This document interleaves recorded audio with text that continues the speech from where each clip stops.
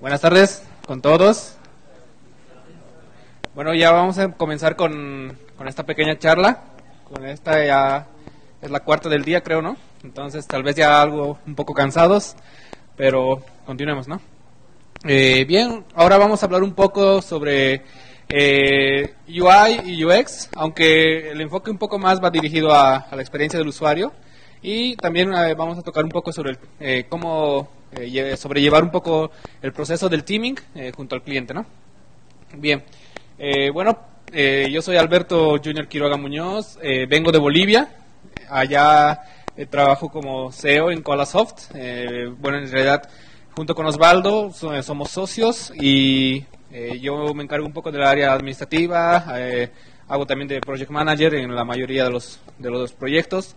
Eh, es una empresa relativamente pequeña, entonces todavía no llevamos muchísimos proyectos eh, paralelamente, sino los que podemos controlar eh, entre los que somos, ¿no? Dos, prácticamente los que los que administramos los proyectos. Y bueno, eh, Koalasoft somos ahorita, bueno, esta foto somos 10, pero ya eh, actualmente somos 12. Estamos eh, recién, mm, casi un año, eh, como Koalasoft. Antes yo era parte de otra empresa y que prácticamente yo era un freelancer con nombre de empresa y ahora ya somos socios con Osvaldo. Eh, bueno, Koalasoft es una empresa en la que considero hay excelentes desarrolladores. Eh, lo bueno de Koalasoft es que enfocamos nuestra mirada eh, en las dos áreas, tanto backend como frontend, y somos especialistas, eh, cada quien es en un área específica, frontend o backend. Y eh, bueno, yo soy más frontend y Osvaldo backend, entonces administramos eh, muy bien la parte que nos toca. Bien. eh, ahora, para empezar un poco a, a recapitular este tema, ¿por qué de un tiempo a esta parte ahora hablamos tanto de, tanto de UI, UX? ¿no? Eh, recuerdo antes cuando trabajábamos para desarrollo web hace 5 o 6 años, eh, el cliente nos pedía un, sitio web y solamente le presentábamos una propuesta y si el cliente estaba conforme, perfecto. En la mayoría de los casos estaba conforme por lo menos un 70-80%. Ahí sobre eso era comenzar a hacer cambios, perfeccionar el desarrollo y listo, el desarrollo era eso. ¿No? Eh, poco a poco eso fue evo- evolucionando, las necesidades del mercado fueron cambiando y dependiendo el tamaño del proyecto, llega un punto en el que la experiencia del usuario y la interfaz eh, son tal vez incluso en algunos proyectos hasta más importantes de- que el desarrollo en sí. ¿no? Eh, estamos en un ambiente en el que el, la ingeniería social, el, también las, las redes sociales, todo lo que es social hoy en día, eh, nos ha llevado a un punto en el que no solamente tenemos que tener un buen código, sino brindarle al, usuario una buena interfaz, eh, también una buena calidad a nivel de rendimiento y que todo esto lleve a una experiencia de usuario agradable. ¿no?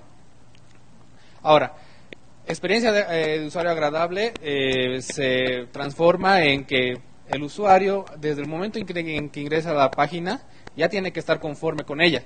No, eh, la conformidad del usuario no se la logra a través de que el usuario va visitando y visitando la web, porque por lo menos en la mayoría de proyectos en los que he participado, según las estadísticas en Google Analytics o en, o en cualquiera de los que nos brindan estadísticas, eh, el 60 o 70% de los usuarios que vuelven a una página web son porque en la primera entrada estuvieron conformes de, del rendimiento de la página. Si, no, si en la primera visita que hicieron a nuestro sitio web no vieron esa conformidad, entonces ellos eh, no van a regresar. ¿no? Entonces son casi el, el 70% de usuarios que si regresaron fue porque la experiencia de usuario fue buena. ¿no? Y el otro 30 regresó por accidente o regresó por necesidad, ¿no? Y muchas veces pasa eso, a veces volvemos a un sitio web porque realmente necesitamos de algo de ese sitio web y no porque queramos volver a ese sitio. Ahora, eh, la experiencia de usuario muchas veces es, es relativa, ¿por qué? Eh, como la imagen ahorita en este caso nos muestra, eh, muchas veces conocemos la frase que dice, ya no vamos a inven- inventar la rueda, ¿no? Pero la rueda ha ido mejorando. hace, hace dos mil años atrás la rueda no es lo que hoy en día es, ¿no? Y posiblemente, o es segurísimo que de acá a dos mil años después la rueda no va a ser lo que hoy en día conocemos como rueda, ¿no? Entonces, eso es experiencia de usuario, mejorar lo que ya se inventó y hacer que el usuario realmente esté conforme eh, con esa mejora, ¿no? Con los sitios web pasa lo mismo. Esta es, esta es una comparación entre el sitio web de CNN como era hace 20 años atrás y el sitio web de CNN eh, ayer creo que era esto eh, entonces eh, uno cuando visitó el sitio de CNN hace, hace 20 años atrás o hace 15 años atrás se encontró con lo que tenemos ahí en la primera imagen y, le parecía nos parecía bueno o sea era, era suficiente, porque en ese tiempo para nosotros CNN era un canal de noticias, un, por el cual nosotros teníamos que enterarnos eh, las últimas novedades del mundo y punto. No, pero, pero hoy en día CNN no, tiene solamente competidores eh, multinacionales como BBC o, o similares, sino tiene competidores sociales. Facebook es uno de los competidores más fuertes de CNN porque uno se entera más noticias por Facebook que por CNN. No, entonces CNN tiene que actualizarse al día de hoy, al, movimiento actual y eh, brindarle al usuario una experiencia tal que eh, las, noticias también sean sociales, ¿no? Y, y, también yo creo que los ingenieros de CNN lo que quieren es que cada noticia que ellos publican sea viral. Entonces ellos lo que tienen que conseguir es que esa noticia tenga retweets, tenga shares en Facebook y poco a poco pueden, pueden, pueden ir expandiendo esa, eh, ese mercado que tiene, ¿no? Sabemos que CNN eh, tiene un mercado, obviamente en Latinoamérica y en Norteamérica bien marcado, pero eh, ellos no, van a, no por eso van a quedarse en que ellos nunca dan mediante la televisión y punto, ¿no? Sino van a seguir evolucionando. Y la experiencia del usuario no solamente, no solamente hoy en día a través de, del Internet, de, de, una laptop, sino es el Internet a través de un móvil, el internet a través de un Smart TV. Eh, recién nomás eh, yo veía eh, explorando en la tienda de aplicaciones de, bueno, yo tengo una LG, no estaba explorando en, la tienda de aplicaciones de la, Smart TV de LG y, encontré una aplicación de, CNN en la cual uno mientras está, está, viendo la televisión le van saliendo las, noticias y directamente las va compartiendo. ¿no? Entonces, eh, estás viendo fútbol, pero te estás enterando las noticias de CNN. Entonces, ya no tienes que poner al canal CNN para, para estar hablando la noticia. Ok. Ahora, hoy en día también hemos, eh, hemos eh, visto avances eh, muy, muy importantes en la experiencia de usuario y en la interfaz. Yo creo que el diseño responsivo es lo más notorio que, que todos conocemos hoy, hoy, en día, ¿no? Porque eh, todos sabemos que hace, hace un tiempo atrás entrar a una página web desde el, celular era una de dos. O tenías que hacer zoom con los dedos hasta, hasta cansarte, ¿no? O tenías que entrar a la página móvil de la que, querías buscar, ¿no? Por ejemplo, eh, la página móvil de un periódico en Bolivia era m.lostiempos.com o m.eldeber.com, ¿no? Siempre eran m, ¿no? Entonces, o mobile entonces, eso ha ido cambiando. Eh, la mayoría de usuarios eh, promedio o estándar no conocían que había que poner M en vez de www. Entonces siempre se encontraban con el sitio web tradicional y eh, no, no, no, podían tener una experiencia de usuario agradable. Entonces, ¿qué, escuchábamos a menudo? Escuchábamos que los usuarios se quejaban de que su celular no podían navegar muy bien por un sitio porque su experiencia era mala, ¿no? Y al final lo que hacían era entrar nomás desde sus laptops, desde sus PCs y olvidarse del celular. Fue por eso que las personas que tienen avanzada edad no se pudieron adaptar rápidamente a, a navegar desde el celular. Entonces, el diseño responsivo hace que uno ingrese al mismo dominio a www.lostiempos.com o www.eldeber.com y navegas en una versión móvil sin necesidad de haber eh, requerido pasos adicionales. ¿Qué puede mejorar ahí? La experiencia del usuario.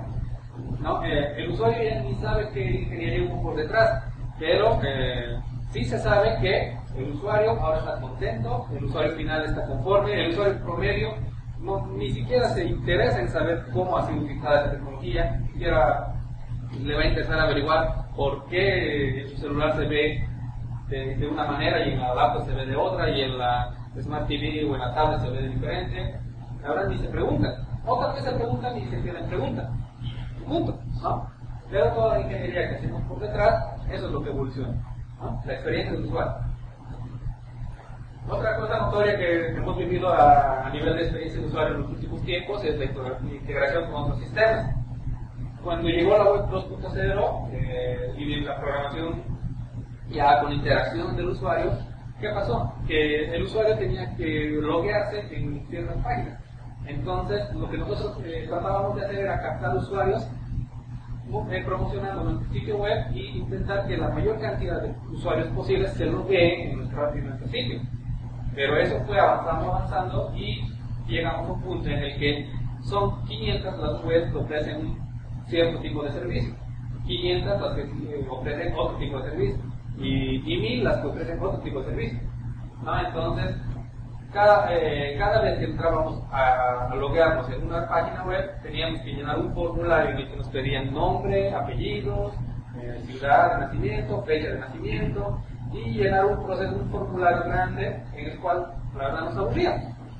Entonces ahí llegó Facebook, y Facebook nos ofreció, eh, ofreció a los desarrolladores que podamos eh, ofrecer en nuestros sitios que la gente se pueda loguear con un simple clic de me logueo con Facebook. ¿no? Entonces, esa es la experiencia del usuario. El usuario ahora está feliz. Solamente hace un clic en me logueo con Facebook y ya estoy dentro. Ya, ya, se rellenaron mis datos. El, el, mismo formulario grande que nosotros vemos por debajo en el, a nivel de desarrollo, el usuario piensa que ya no. Ese, ese, ese sitio ya no, ya no se pide formulario. Pero es, es, mentira, ¿no? Porque nosotros lo que hacemos es, le pedimos a los resultados y sí llenamos ese formulario. Entonces, en realidad no mejoró eh, no, no, es que necesitamos menos datos del usuario, sino que simplemente se los pedimos de donde ya sabemos que ellos lo tienen, en Facebook. ¿no? Eso es mejorar la experiencia del usuario. Otra cosa importante es el Internet de las Cosas. El Internet de las Cosas es una, es una nueva una nueva frase que, que tal vez a partir de este año va a entrar muy de moda, es que es lo que hasta el año pasado se conocía como Smart Life o o las eh, ¿no? las casas inteligentes. ¿Qué es una casa inteligente? Es una, eh, una casa en la que llegas y automáticamente el, el GPS de tu celular le avisa a, a, al refrigerador que has llegado y, y, el refrigerador se da cuenta y se enciende la pantalla que está en el refrigerador y te avisa que no hay leche. ¿no? Eh, o el, el GPS también le avisa al aire acondicionado que estás por llegar y, a, y cinco minutos antes que llegues ya, ya está calentando la casa, ¿no? Para que ya no sufras el, el frío. Y así, hay muchas cosas, ¿no? Este año en enero se presentaron muchas novedades al respecto en, la, en las IES de Las Vegas, ¿no? Las que más me llamaron la atención fueron lavadoras eh, que, que ya eh, que saben por medio de, igual por medio de hasta eh, mediante sistemas expertos te pueden enterar de que ya no tienes ropa limpia y la lavadora te alerta cuando llegas a casa te recuerda que laves. Entonces, o sea, cosas muy, muy, muy interesantes que son para mejorar la experiencia de usuario. O sea, todo es experiencia de usuario. Alguien le tuvo que decir a la lavadora que lea mis tweets, ¿no? Entonces, ¿quién fue? Yo, yo, yo, yo mismo, ¿no? Entonces, eh, LG se está preocupando de que mm, eso suceda. Samsung lo mismo, mm, ver la tele ya no es lo mismo que ver la, la, la televisión hace, hace 3, 4 años atrás. ¿no? Eh, hoy en día ver un partido de fútbol eh, en, en, alta definición y con las estadísticas en tiempo real en la televisión eh, y con los tweets que están, que están lanzando tus amigos sobre ese partido que estás viendo, ya no es novedad. ¿no? Entonces, eh, las, las, la, las aplicaciones hasta para Smart TV han, mejorado muchísimo. Entonces, eh, obviamente nos ofrece esto eh, desde la versión 7 y en la versión 8 va a venir integrada ¿no? con los tres servicios. Entonces vamos a poder desde nuestro, desde nuestro sistema web ofrecer a, terceros que puedan leer nuestra información que nosotros ofrezcamos desde el sitio web. ¿no? Y por medio de eso, integrar que, diversos sistemas, eh, hasta electrodomésticos o smartwatch, eh, relojes inteligentes, tablets, eh, etcétera, se comuniquen con, con, nuestra vida misma y nos, nos mejoren nuestra experiencia diaria. Entonces, la experiencia de usuario ya no queda solamente en, un, en una laptop, sino mejorar la interfaz de una web. La experiencia de usuario es mejorar prácticamente la vida del usuario. Ahora, el proceso de desarrollo de un software prácticamente tiene esos pasos. Eh, lo que, bueno, por lo menos en Corazón lo que hacemos es iterativo. Generalmente un software lo dividimos en, en varios softwares pequeños y el proceso iterativo es de cada, de cada porción de software hacer análisis de, esa parte que vamos a desarrollar, la desarrollamos, hacemos el control de calidad, lo integramos. Eh, ¿No? Entonces, obviamente tenemos un servidor de integración continua, se integra con lo que ya viene, con lo que se va desarrollando y se pone en producción cuando el cliente está, está satisfecho, ¿no? Entonces eso se va iterando, iterando, iterando. Ahora, la parte de análisis es tal vez la más importante de, de toda, es el pilar, es el cimiento fundamental de toda esta iteración. Porque cuando empezamos con, la, con ese ciclo, ¿no? Eh, es porque hemos cerrado a conformidad del cliente el ciclo anterior. ¿no? Si el ciclo anterior no se cerró, no vamos a empezar a poner cimientos en el ciclo posterior. ¿No? Nos ha pasado muchas varias veces que, el cliente nos dice, haremos una cosa, vamos a seguir revisando los pequeños detalles que falta de, este, de esta parte, pero necesitamos que ya empiecen a desarrollar esta otra. Entonces, hemos tratado generalmente de que no, no suceda eso, sino que hagamos la iteración eh, paso a paso hasta que el cliente esté satisfecho. Y eh, nos, nos, ha dado buenos resultados. Entonces, es un buen consejo también. ¿No? Entonces, esta parte de análisis es la que estamos tocando ahora, ¿no? Y bueno, cuando hacemos el análisis, hacemos varios puntos, ¿no? análisis de requerimientos, desarrollo en, equipo, ¿no? Eh, tenemos la gente suficiente para hacer ese desarrollo, el cliente va a estar satisfecho con esas personas.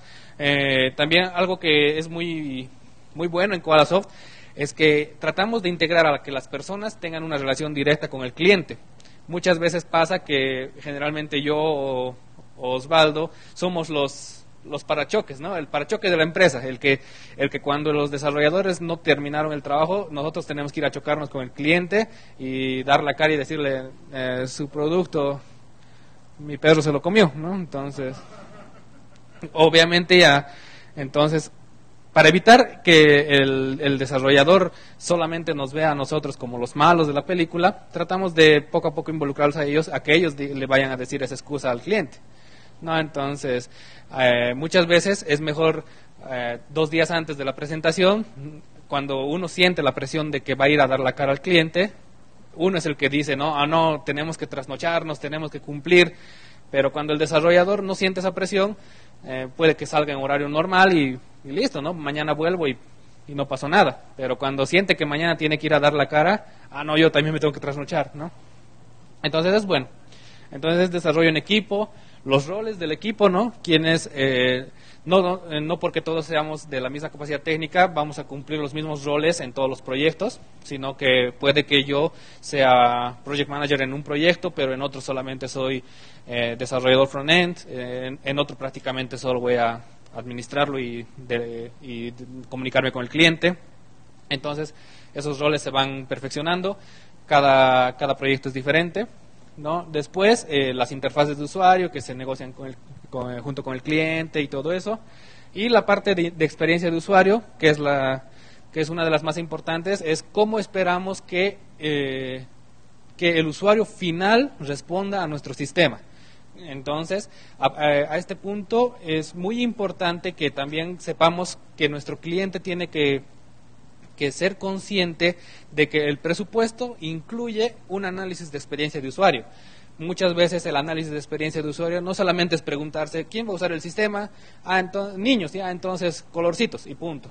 Eso no es eh, análisis de experiencia de usuario. Análisis de experiencia de usuario es incluso contratar personas de, de marketing, eh, a veces hacer consultoría externa con, con otras em, empresas y que eh, hagan encuestas en la calle, qué esperan de un sistema, o si, o si el sistema que estamos desarrollando es para una institución pública y va a ser solo, solo instalada en intranet, por ejemplo, eh, ir a la empresa, encuestar a los a los usuarios finales del sistema, ¿no? A los empleados de la empresa, van a estar conformes, qué esperan del sistema, ¿no? Todo eso eh, es un presupuesto, ¿no? Si lleva por lo menos cinco días de, trabajo, mm, bueno, una simple multiplicación y ya sabemos cuánto nos costó esos cinco días, ¿no? Entonces, es presupuesto, no es algo que, que podamos saltarnos. Y bueno, obviamente la arquitectura de software antes de entrar al desarrollo. Ahora, algo que es muy importante también mm, tomar en cuenta es que el UI, que es el diseño de interfaces de usuario, no es lo mismo que eh, UX. Muchas veces las palabras van juntas, ¿no? Entonces, eh, UI, UX, UI, UX, todo. Hasta las búsquedas en Google son UI and UX. Siempre, siempre pensamos que va junta, pero en realidad no es lo mismo. ¿Por qué?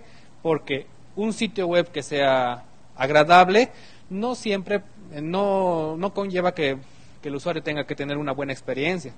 ¿Por qué? Porque, eh, bueno, ahí les dejo, eh, vamos a ver más adelante el por qué. Eh, no, son, no son iguales.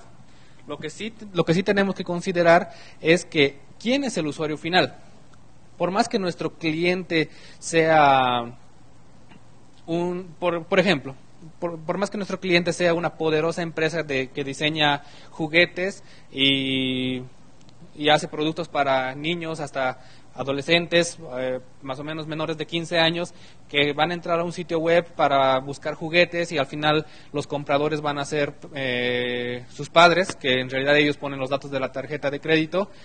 Si, si vamos a orientar a los niños de 14 años, no podemos permitir que que el, gerente general de esa empresa que tiene 60 años nos diga cómo se va a comportar un niño de 12 años frente a, frente a nuestro sitio web. ¿no? Entonces, pero tampoco no, tampoco no podemos pasar al otro punto, ¿no? ¿no? No vamos a traer un bebé para que, para que utilice nuestro sistema y nos diga cómo, cómo se ve.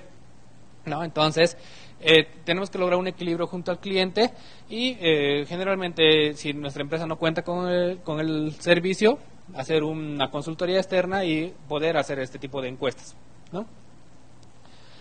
Bueno, voy a mencionar siete, siete aspectos claves para una mejor experiencia de usuario. ¿ya? Eh, no, obviamente no son las que no son todas ni, ni son los siete mandamientos, no, sino son solamente siete puntos, pueden haber muchos más. El punto número uno es el cliente no siempre tiene la razón el usuario es el que decide. ¿no? Siempre hemos escuchado la famosa frase, ¿no? El cliente siempre tiene la razón. Pero, eh, como, les puse, como les puse el ejemplo anterior, eh, puede que el cliente no sea el usuario final del sistema. ¿no? Entonces, quien va a tener la, última palabra de que si nuestro sistema le brinda una experiencia de usuario agradable, va a ser el usuario final. Por ejemplo, también eh, existen sistemas orientados a personas de la tercera edad, eh, personas que no escuchan, personas incluso que no ven, sistemas que se integran con, con cierto tipo de, de otros sistemas que también brindan experiencias de usuario diferentes. Entonces, el, el usuario final que utilice es el que nos tiene que decir mediante análisis de mercado, mediante encuestas de marketing, análisis de, de, ciertas, de ciertos tipos, que, qué es lo que esperamos de ese sistema. Entonces, el cliente no tiene siempre la razón, el usuario final es el que decide. Dos, que el sistema esté muy bien diseñado a nivel gráfico no implica que vaya a brindar una experiencia de usuario increíble. ¿no? Eso es lo que les mencioné hace rato. Eh, muchas veces simplemente decimos mm, niños es colorcitos, eh, adultos, mm, bueno, está bien, puede ser eh, atrayente. Si se han dado cuenta, Facebook es, a nivel gráfico no tiene nada más que una barra azul arriba. ¿No? Y a veces cuando despliegas la barra lateral salen varias opciones con algunos iconos, pero a nivel gráfico no, no tiene nada más. no creo que sean mega diseñadores de Photoshop los que han hecho eh, los que han hecho los, los mockups de Facebook, ¿no? Sino ¿Qué es lo que hace que nuestra experiencia de usuario en Facebook sea agradable que estamos todo el día conectados a Facebook? El contenido, ¿no? Entonces, Facebook sabe que a nosotros nos interesa el contenido para quedarnos en su sitio web. Entonces, no siempre que sea, no siempre tenemos que rajarnos en que la interfaz sea impresionante para que el, el usuario se quede en nuestra página, sino tenemos que saber qué está buscando el usuario en nuestro sitio. Logramos esa respuesta y tenemos el éxito asegurado. Entonces, es así de sencillo. Muchas veces he visto, han debido ver ustedes también casos en los que, en especial gente que es buena diseñando, pero no, no conoce a nivel de experiencia de usuario, de este tipo de cosas, le mete a todos los sitios web, a todos los sistemas, le mete banners, sliders. Siempre en la home hay sliders. ¿no? Entonces, no en toda web se necesita sliders. Puede que en muchos casos sí, ¿no? He visto, la mayoría de webs corporativas sí tienen sliders. Pero se imaginan que, que Facebook, cuando entras a Facebook cada día, te, te encuentras con un slider con la cara de Mark Zuckerberg girando o únete a nosotros. Es, es ridículo. ¿No? Entonces, eh, no, no necesariamente tenemos que ser gran diseñadores en Photoshop para brindar eh, una, una, buena experiencia, sino simplemente analizar eh, la interfaz de usuario necesaria para nuestro cliente, eh, nuestro usuario final. Bueno, el 3. Una buena experiencia de usuario es la que no cambia drásticamente a menudo. También han debido conocer sitios web que lo visitan no, no, no, tan seguido, sino cada dos, cada tres meses, y cada que entran al, cada que entran al sitio web el sitio web ha cambiado. Ya, ya no saben dónde estaba el botón inicio, ya no saben dónde estaba el formulario de contacto, se rediseñó. Ah, está más bonito que el anterior, pero ya no me ubico. Ah, entonces uno, ah, qué bonito, qué bonito, voy revisando, voy analizando el sitio, me gusta, me encanta. Vuelvo en tres meses y el diseño volvió a cambiar. ¿no? Entonces, es más bonito, pero ¿qué hace? El usuario no retorna, no retorna seguido a la página. Solamente va a retornar cuando cuando lo vea conveniente, cuando lo necesite. ¿no? Entonces, es lo mismo, eh, el, mismo caso que Facebook, volviendo al ejemplo. Eh, los que tienen Facebook más, más de 7, 8 años atrás, se acuerdan que Facebook era totalmente una cosa hace tiempo y totalmente otra cosa actualmente. Pero en ningún momento nosotros hemos sentido ese cambio drástico, a no ser la vez que cambiaron la, biografía en el perfil de usuario. Eh, tal vez fue el único cambio drástico notorio en Facebook, pero después no nos dimos cuenta en qué momento fueron cambiando las cosas en Facebook, pero si comparamos nuestra interfaz de usuario en Facebook hace 3, 4 años atrás con la actual, es totalmente diferente. Han cambiado botones de, lugar, han cambiado iconos, han cambiado colores, han cambiado eh, la forma en la que se presentan los resultados en el buscador, han, han presentado nuevas interfaces eh, detrás de la plataforma, eh, los grupos ya no se ven como antes, las páginas ya no se ven como antes. Entonces, ¿en qué momento pasó eso? No nos dimos cuenta, pero los cambios se van dando, el sitio va evolucionando conforme pasa el tiempo, pero no drásticamente. Entonces, la experiencia para el usuario no ha cambiado. ¿Por qué? Porque es más fácil eh, adecuarse a un botón que a toda una interfaz. Entonces, eh, hay que tomar en cuenta que los cambios no tienen que ser drásticos siempre en el sistema, sino solamente botón a botón, eh, punto por punto y página por página también. Ok. El número 4. El sistema que requiere menos interacción del usuario es el más exitoso. Es algo que ya también ya había mencionado al principio. Es, eh, bueno, se refiere a que los sistemas hoy en día están necesitando que el usuario haga menos cosas. El usuario está cansado. Eh, imagina un usuario que vive en Manhattan, que camina todos los días estresado, o un usuario que vive en Tokio, que hay pantallas por todo lado, todo es electrónico, todo es, em, todo le salta a la vista, las pantallas ya su cabeza está reventando, uno sale estresado del trabajo y todavía el camino a casa es más estresante todavía. Cuando llega uno a casa y quiere descansar, eh, se echa en su, en su cama, abre su tablet, quiere revisar su Facebook y Facebook que nos, eh, o cualquier otro, otro sitio que nos ofrece. Nos ofrece un sistema, un diseño flat, por ejemplo. Un, un diseño liviano, un diseño digerible, un diseño que podamos realmente descansar la vista prácticamente al mirar ese diseño. No nos cansa, no nos abruma, no es como, como los sitios de antes que ni bien entraba saltaban GIFs animados por todo lado, ¿no? Y estrellitas brillantes, ¿no? Entonces, eso ya lo tiene en la calle, ya, ya en la calle le saltan pantallas, le saltan avisos publicitarios, le saltan todo tipo de, de cosas.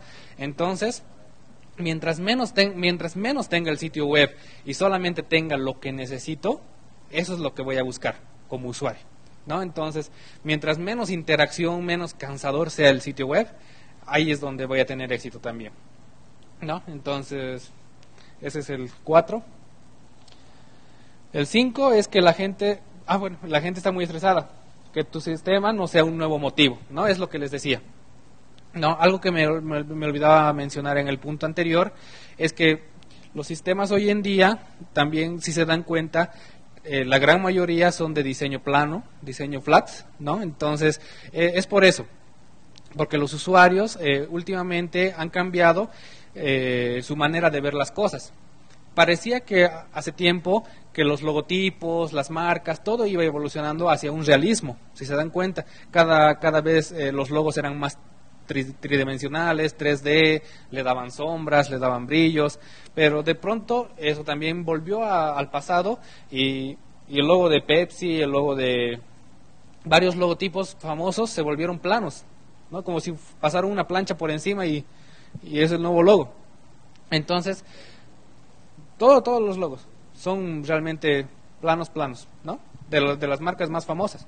Y eso va a ir cambiando poco a poco, otra vez hasta que volvamos a iterar y el usuario se canse de lo plano y vuelva a buscar lo realismo, el realismo. Lo mismo pasó con Apple. Eh, Steve Jobs era un fanático del realismo.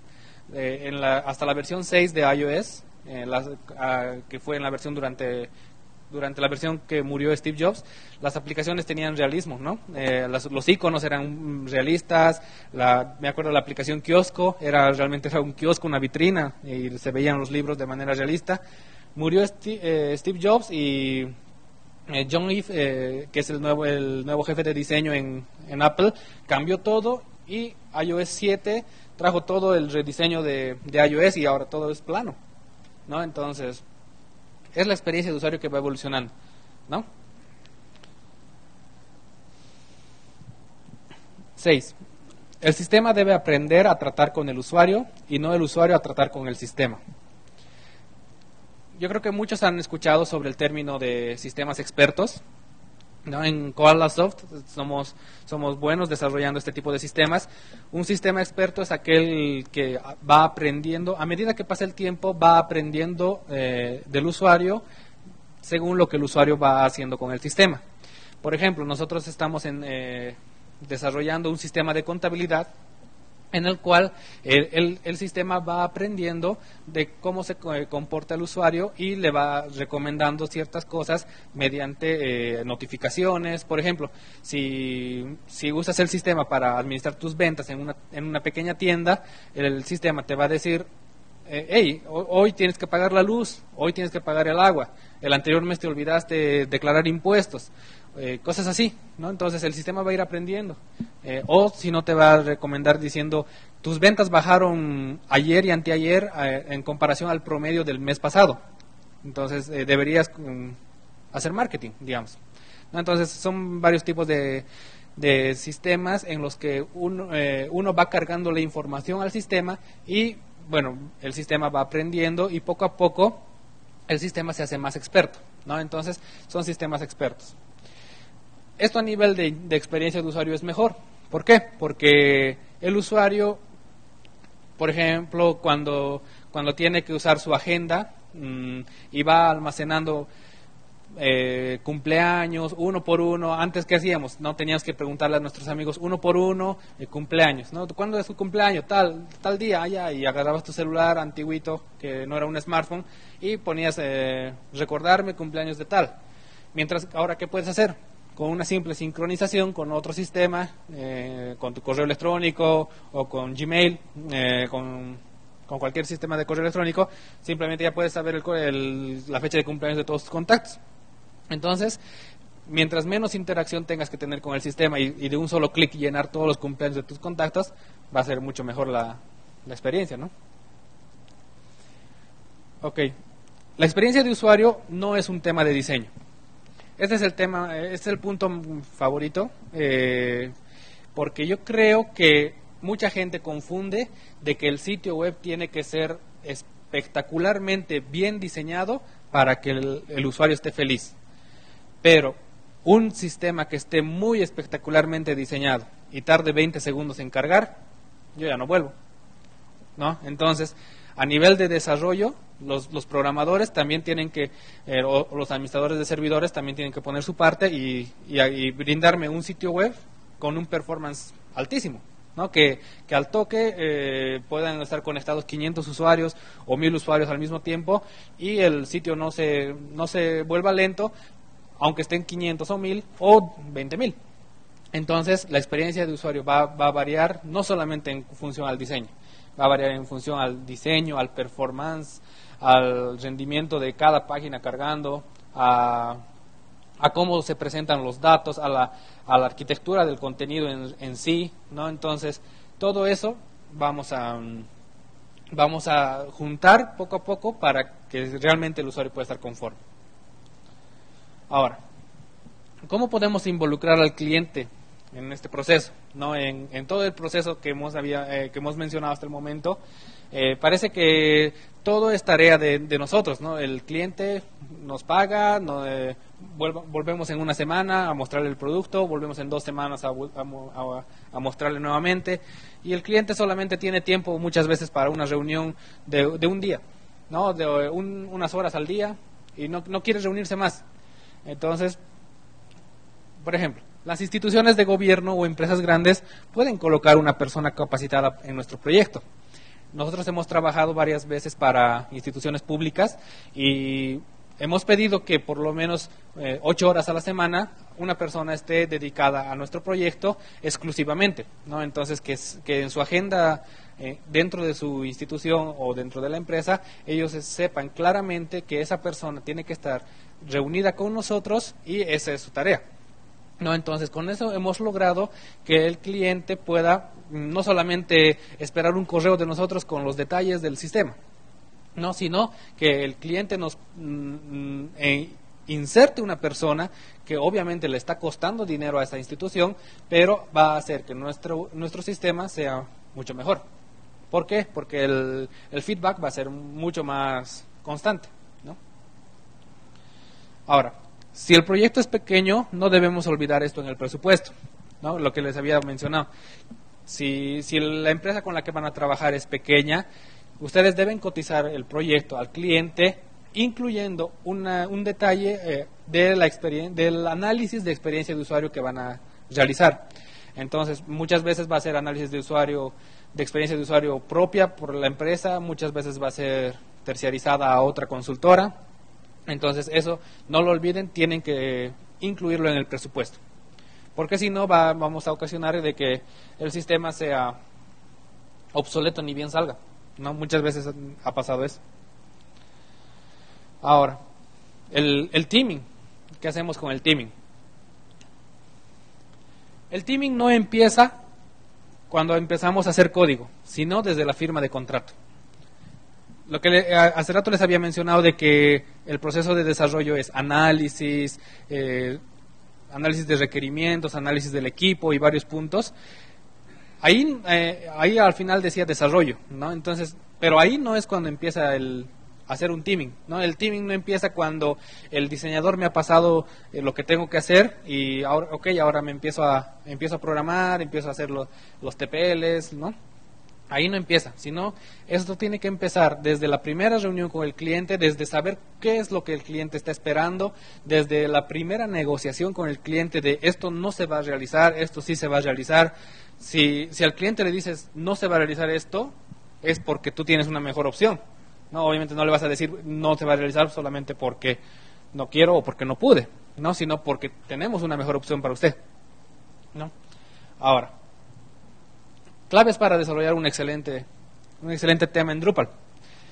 Los requerimientos tienen que estar claros, ¿no? Eh, desde las interfaces de usuario ya tienen que estar escritas, ¿no? No, no, diseñadas, sino escritas. Lo que nosotros hacemos es, eh, usamos Google Drive y al, cliente, desde, la, desde, ah, desde las negociaciones de cómo quiere, con qué requerimientos quiere el sistema, le añadimos a un Google Drive, a un doc, y le pedimos que vaya llenando qué es lo que él quiere del sistema. ¿no? Generalmente tardamos dos, tres días en hacer esto, dependiendo que a veces los clientes paran ocupados. Y nosotros ya desde ese momento ya vamos pensando, ya, ya se nos viene a la mente las características que va a tener nuestro tema, no hasta las tecnologías que vamos a utilizar. Eh, poco a poco ya, ya a medida que vamos escribiendo requerimientos, ya pensamos hasta qué tipo de servidor vamos a necesitar, qué tipo de de equipo vamos a necesitar, ¿no? Entonces, eso, eso es bien claro, eh, bien importante en la parte de, requerimientos. Es, hasta la firma de contrato es la parte esencial, es el núcleo del, del proyecto en sí, es la clave del éxito. No sé si se ubica en esta imagen, es muy compartida en las redes sociales a nivel de desarrollo. ¿no? Entonces, estos son requerimientos típicos de, de no haber consensuado muy bien con el cliente, ¿no? La solicitud del usuario. El usuario no sabe para qué, pero le va a brindar al, al, eh, el cliente no sabe para qué, pero le quiere brindar al usuario final una silla con tres asientos, con, con tres posaderas. ¿Para qué? ¿No? Entonces, eh, entonces, como eso era irreal, el líder del proyecto no, no, no, supo qué entender y, y puso el asiento al medio, ¿no? Eso, el, diseño eh, del analista, el enfoque del programador. ¿no? Siempre, siempre vienen consultores externos ¿no? y nos dicen, no, tienes que brindarle una maravilla al cliente, pero no es lo que el cliente está necesitando, ¿no? mucho menos el usuario final. Nadie, nadie va a un parque a buscar un columpio que sea un sofá, aunque sería genial, pero nadie lo hace. ¿no? Entonces, esa es, la parte de requerimientos, ¿no? Tenemos que definirlos muy bien. El segundo aspecto son los wireframes, ¿no? Eh, los bocetos de cómo se va a distribuir el contenido dentro del sitio web. Muchas veces hay, hay quienes lo, los prefieren hacer con softwares eh, especializados en, en wireframes, pero lo que yo recomiendo y lo que yo prefiero es agarrar una libreta y hacer los wireframes a mano y junto al cliente. ¿No? Eh, como habíamos mencionado hace un par de minutos, si el, si el cliente nos ofrece una persona que pueda estar a, dedicación exclusiva con nosotros, por lo menos unas ocho horas a la semana, cuatro o, seis horas de esas ocho, podríamos dedicarlas la primera semana del proyecto a hacer los wireframes junto con el cliente. ¿Cómo quiere distribuir usted su contenido? Eh, no, obviamente los que sabemos más de esto somos nosotros. El cliente nos va, eh, a, a, través de sus requerimientos nos va a decir que, cómo quiere distribuir su contenido. Y una vez que todos los wireframes de todas las pantallas estén bien diseñadas, podemos firmar con el cliente una, mm, un consenso en el cual se puede pasar de wireframes al diseño gráfico, ¿no? a los mockups. Entonces, es muy importante también que eh, el cliente sepa que el consenso ha sido de ambas partes. ¿no? Y lo que nosotros hacemos es eso. ¿no? El, cliente está contento con los wireframes, perfecto, recién se pasa a los mockups. Pero cuando ya estamos en mockups, ya no rehacemos wireframes. ¿no? Porque eh, para qué ya estaríamos haciendo los mockups, sería todo todo un lío, ¿no? Entonces, lo que nosotros hacemos es, si hay mejoras, obviamente se las, se las va negociando conforme va creciendo el proyecto. Los mockups, el diseño gráfico ya va muchas veces vectorizado o en Photoshop, Illustrator, Inkscape, en los programas que los diseñadores prefieran. Eh, tienen que ser 100% funcionales y no tienen que faltarle ningún elemento. ¿No? El diseñador no puede obviar algún elemento que falte eh, en, este, en, los mockups, ¿no? Por ejemplo, tiene que ser desde el tipo de letra, desde eh, las medidas exactas, eh, no sé, pero muy, muy, muy detallado, recontra detallado. Y toda tiene que ser totalmente funcional para los desarrolladores. Lo que nosotros también hacemos es que hacemos de cuenta que el diseñador no se conoce ni se va a conocer con el desarrollador. Por ende, el diseñador tiene que entregar unos mockups totalmente funcionales para que los desarrolladores no tengan que en ningún momento tocar la puerta del diseñador y decirle, esta partecita, ¿cómo era? ¿Qué se llamaba el div? ¿Qué, o cómo, cómo tiene que ser este icono? ¿No? Entonces el diseñador tiene que ser totalmente capaz de, entregarle al desarrollador totalmente todos los elementos del sitio. Prototipos de las animaciones. Muchas veces hacemos eh, animaciones en JavaScript y, o los scrolls o cómo, se, cómo aparecen ciertos contenidos, etcétera. Entonces, estas, estas eh, animaciones los diseñadores igual las realizan con ciertos tipos de, de programas. Algunas veces, algunos diseñadores siguen usando Flash. Yo creo que es lo más fácil hacerlo en Flash. Y los desarrolladores se encargan de, de convertir ese Flash a, a JavaScript, ¿no? Listo, ya tenemos los prototipos. Hacemos un análisis de los recursos. Todo esto, ¿qué, nos va a llevar? Recursos técnicos, recursos eh, a nivel de personal, recursos humanos y eh, a nivel también institucional, ¿no? ¿Cuánto tiempo nos va a tomar? Eh, ¿Cuánto nos va a costar? El presupuesto ha sido el adecuado, todo eso, ¿no? Y a partir de ahí recién pasamos al desarrollo, ¿no? a la maquetación y al desarrollo en sí del tema.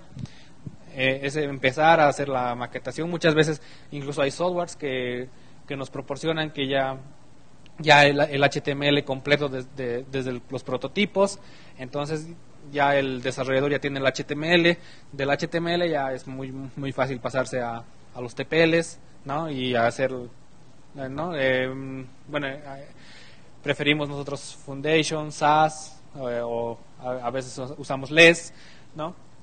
Y al final de todo, dejamos para el final todos los JavaScripts. Entonces, con eso garantizamos que ha sido un buen proceso. ¿no? Otra vez, eh, volvemos a, a, tocar ese aspecto, que todos estos puntos han sido iterativos con el cliente, cada uno de ellos. Y no nos hemos aparecido con, los, con, el, con el desarrollo del tema después de haber firmado los requerimientos, ¿no? sino que el cliente tiene que estar de acuerdo y conforme con cada uno de los aspectos. Bien. Hay una frase que me encanta que dice, la experiencia de usuario se refleja en la expresión del usuario.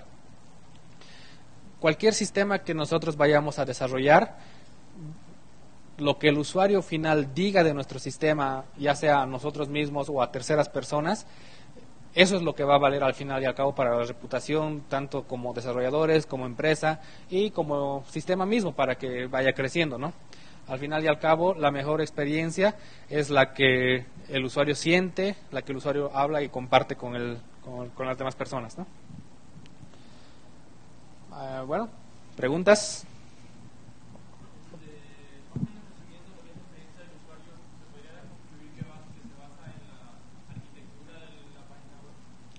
Eh, no. Eh, bueno, la experiencia de usuario es cómo se comporta el usuario con la página. La arquitectura de la página web es solamente la interfaz. Es, la diferencia entre UI y UX. Eh, lo que tú dices es UI, ¿no? Entonces, eh, si tienes un formulario gigante, ¿no? Esa es la interfaz, no, no vas a poder cambiarla. Pero ese mismo formulario, si la presentas, por ejemplo, te digo, eh, si la presentas a, a colores y la presentas a blanco y negro, por ejemplo, es el mismo formulario, pide los mismos datos, pero puede que los colores haga que el usuario sea más, para el usuario sea más divertido llenar el formulario. Entonces, la experiencia es mejor, de usar el mismo sitio web. Okay.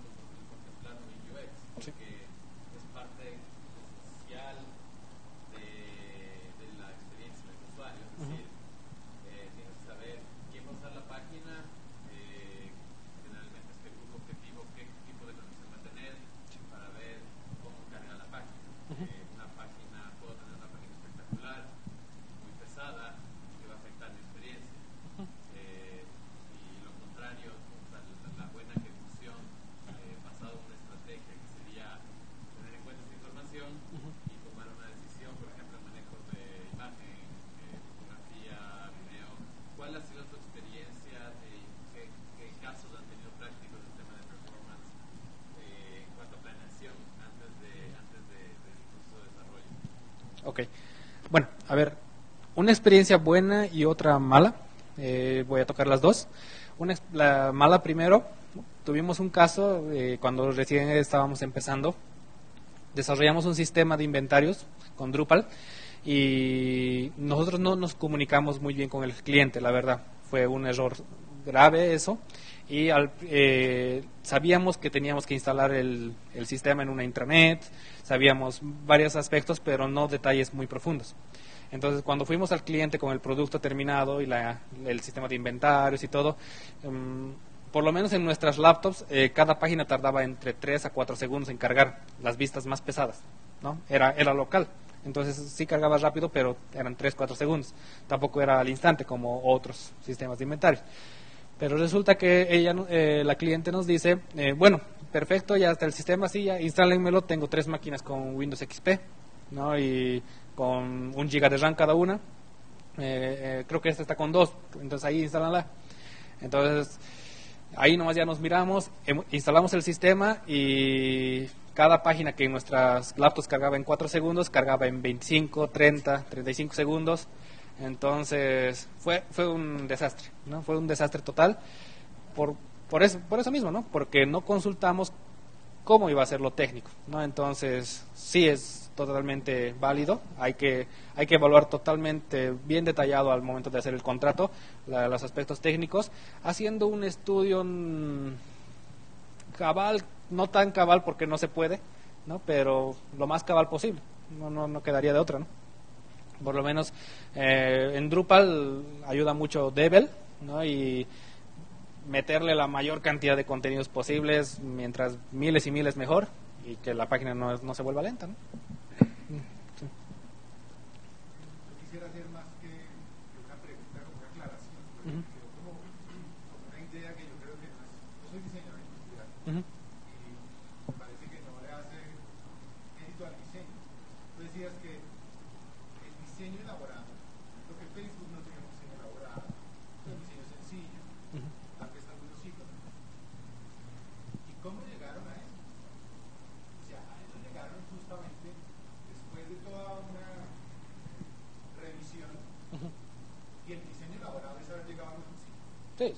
O sea, el diseño elaborado de una Mac es haber llegado a una expresión muy simple de computador.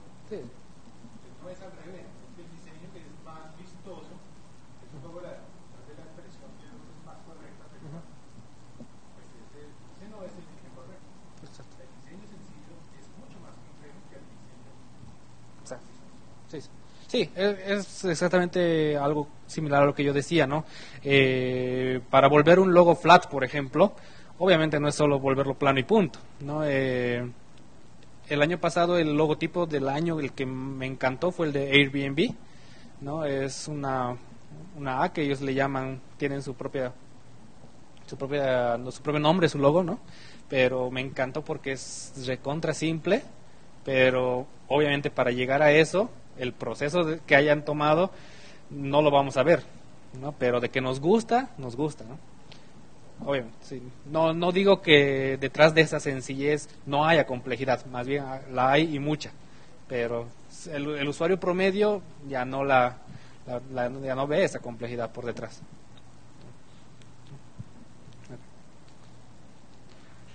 ¿Alguna pregunta más? para hacer el QA, por ejemplo, el desarrollo utilizamos el Devel, ese nos saca eh, cada módulo cuánto tiempo toma, etcétera. Pero, ¿qué se utiliza para testear el, la experiencia del usuario como tal? Porque este es el performance, que cuánto nos demora en cargar. Pero, ¿qué se puede utilizar para poder saber si Ok. es correcto? Bueno, por lo menos eh, no conozco algo automatizado, ¿no? Eh, tendría, si fuera algo automatizado, tendría que ser un sistema experto que se comporte como una persona y a la vez como muchas personas el mismo sistema, ¿no? Pero la, única que hemos nosotros hecho es, es encuestas, ¿no? Entonces, una vez que el sistema ya está prototipado, es muchas encuestas, muchas encuestas del, del usuario, de, usuario, final tipo, ¿no? que, vamos, que va a tener el sistema y y feedback, ¿no? Sí. Entonces, pero... Ujú. Pues,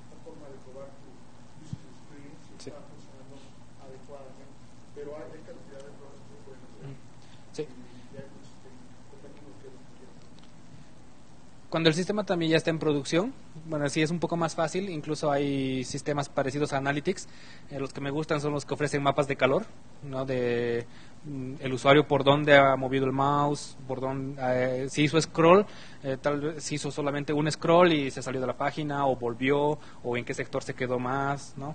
Eh, o de qué de- del home se fue a qué página o si, si del home se fue directo a contacto y, y hizo el contacto ah, es- la página es un éxito no pero si tuvo que leer todas las páginas no entonces ese, ese tipo de sistemas sí, sí son buenos pero ya son para para sitios en producción ¿Crees que es mejor que el, que el testeo del sitio web guiar a la, al usuario que está terminando el sitio web para crear una tarea específica? O simplemente dejarlo que experimente el grupo y que se encuentre? ¿Cuál es su experiencia directa? Bueno, en, nuestro caso, como les mencioné, eh, que nuestro proceso era iterativo, entonces solamente les hacíamos es- les hacemos utilizar a los a los testers, a nuestros testers, eh, la parte en la, la que hemos desarrollado, ¿no? Eh, una buena práctica que nosotros tenemos es que somos tres equipos de, de desarrollo, digamos, cada uno está metido en, en diferente proyecto y una tarde a- o una par de horas a la, a la semana hacemos cruce de proyectos y eh, los que están en este proyecto van a utilizar lo que ellos desarrollaron y viceversa. ¿no? Entonces, por lo menos es un poco más de feedback eh, entre nosotros mismos, pero eh, es de lo poco. ¿no? Y ya al, al usuario final, ya del, del completo y o- obviamente del, de la iteración completa, me refiero, ¿no? Y del sistema completo cuando ya va a ser puesto en producción, ya de los, a los usuarios finales. Sí. ¿Alguna pregunta más? Ah, hoy en día muchos sitios a por renta eh, han ah, implementado el hecho de que eh, tengo que suscribirme a su sitio por algunas cosas. ¿sí? Y incluso algunos, algunos pop-ups son bien agresivos, o sea, no, no permiten que yo lo cierre hasta que yo no coloque mi correo. Eh, quiero saber eh, qué opinión tienes al respecto, eh, qué opinión te das Ok. de los usuarios que has trabajado, qué opinión hay al respecto.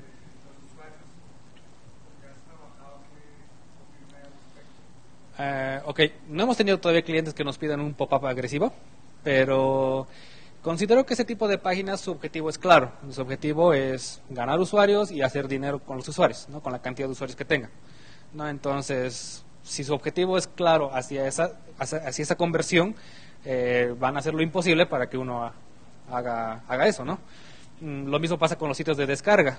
Antes eh, era un link de descarga y punto, pero uno entra ahora a, un- a una descarga y le aparecen 20 links de descarga, que 19 son publicidad. ¿no? Entonces, eh, al, al sitio web le interesa que uno se equivoque y haga clic en la descarga errónea porque eso le, le- le genera dinero. ¿no? Entonces, eh, no soy partidario de ese tipo de, de formas de atraer al cliente, pero lamentablemente es válida al día de hoy. ¿no? No es penalizado, por ejemplo. Claro, sí es molestoso, ¿no? Es, mala experiencia, ¿no? Sí, sí. Ahora, es, es interesante ese punto de vista porque los sitios que ofrecen harta, harta publicidad en Google, obviamente su interés es que la gente haga clic en las publicidades y ellos puedan ganar dinero de AdSense, ¿no? En Google. Pero, por ejemplo, AdBlock puede bloquear todas las publicidades y listo. Pero eh, eso le eso le, le genera muchas pérdidas a Google, pero es una buena experiencia de usuario, ¿no? Entonces. ¿Alguna pregunta más? Ok, muchas gracias.